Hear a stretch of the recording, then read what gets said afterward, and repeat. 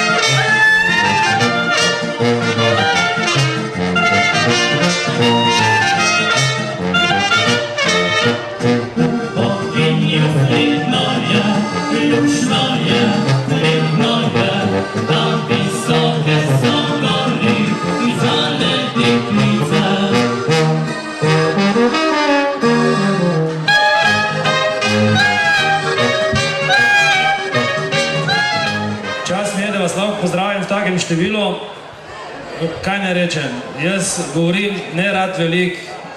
Hvala vam, da ste prišli.